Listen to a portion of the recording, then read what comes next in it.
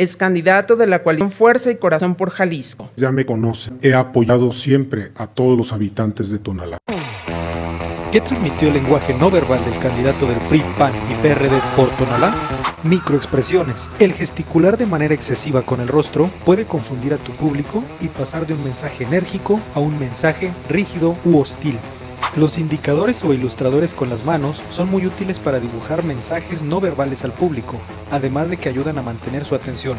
Sin embargo, el usarlos de sobremanera puede hacer ver a tu discurso como hermético y poco flexible. Cuida los movimientos con tus manos y usa posturas y señales de manera natural. El levantar los dedos índice nos ayuda a señalar y puntualizar aquello en lo que queremos hacer énfasis.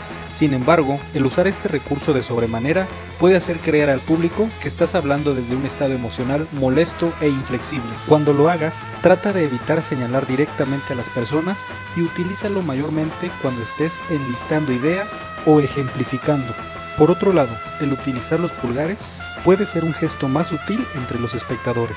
Si los mantienes arriba, puede generar en ellos bienestar y seguridad en lo que estás contando. Esta es una señal universal de que todo está bien. Como dato adicional, el mirar al público a la cara le significa confianza.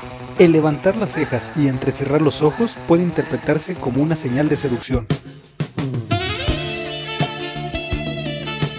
Sin embargo, este parece ser un gesto propio del candidato, lo cual refleja el ensayo de su discurso y dominio sobre él. De manera particular, este gesto puede que lo utilice para buscar la aprobación del público y transmitir nobleza y acompasamiento. Si no se tiene cuidado sobre estos gestos, pueden considerarse histriónicos y ensayados, causando en el público un doble mensaje.